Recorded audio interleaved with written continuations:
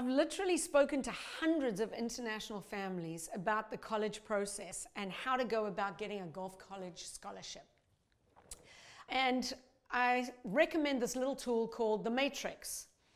I, I call it the Matrix because you actually create a matrix of golf scores and academic scores to plot out the schools that are a good fit for you. I recommend kind of a one third, one third, one third. You can have some stretched dream schools, some schools that you project you'll be able to get into, and where you comfortably could get into right now. And what you do is you, you, you plot it out. You, um, you put your current golf scores and your academic GPA, SAT, where you are right now. Um, and then let's say you're 16 years old. You project out into the future an SAT score that you think you might be able to get, uh, how your golf may improve, and you build lists of schools based on those projections. It's a great little tool, and I suggest you start that as you know, as early as middle school. My recommendation for middle school students is go and take a look at campuses to get a feel of what kind of school you'd like to attend. Big, small, division one, division two. But ninth grade, you need to start the process very seriously. And I strongly suggest that you try the matrix and plot your schools out. I'm quite a visual person, so let me show you how it works. Okay, so here's our tool. We call the matrix. So this top line are your golf scores. We'll call this golf scores. And this continuum, or this line right here, academic scores. And we're going to use SAT scores because GPAs are just very different in different countries, so SATs are just easier.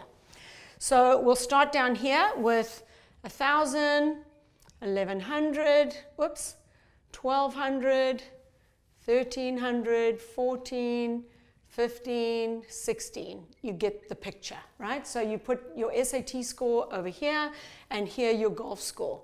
So we'll start with maybe 68 over here, 70, 72, 74, 76, 78, 80, and you can make this matrix fit wherever you feel you're at. So let's say you're 15 years old uh, maybe you haven't taken the SAT, but you know that you're a pretty good student and you might want to plot your SAT, predict that it would be right around here, and you're shooting about 76 now. So these are the schools you want to look for. Okay, so this is your first little grouping of schools. And then you project that in a couple of years, you're going to shave off some, some shots, uh, probably be a scratch golfer, let's just say, and you want to work hard on your SATs. Your goal is to have a 1300, and you might want to look for some schools right around here.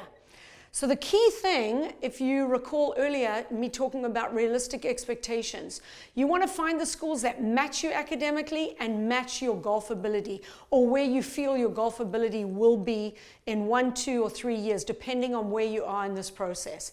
So what you do is you create your lists on this matrix, you go to your resources, which are uh, Golfweek for college rankings to see where the scores, where the average scores are of these schools.